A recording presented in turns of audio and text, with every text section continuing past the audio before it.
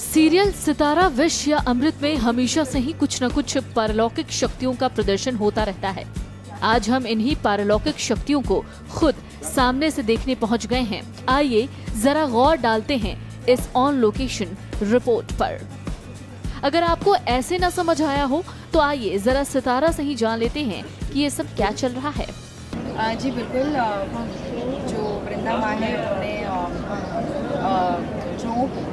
से एक बेबी को जन्म दिया था जो कुंवर साहब को विश्व पुरुष बना थे। So I got to know that मैंने एक ट्रैप रचा था एंड वो बेबी ने बिल्कुल वैसे ही किया and you know so I could make out और मैंने वो बेबी को ख़त्म कर दिया।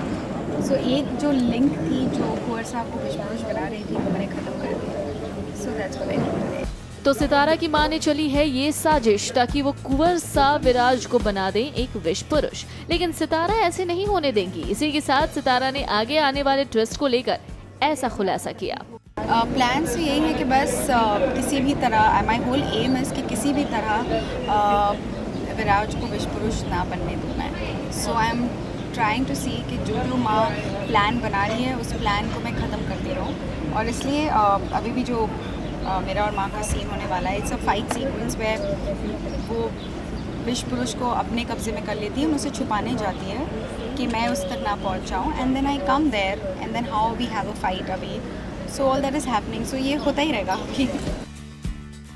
सितारा की माने तो सीरियल में आगे आने वाले हैं कई रोमांचक सीन्स इन्हीं रोमांचक सीन्स के लिए आपको जुड़े रहना होगा इस एपिसोड की अगली कड़ी के साथ। Video desk Amar Ujala dot com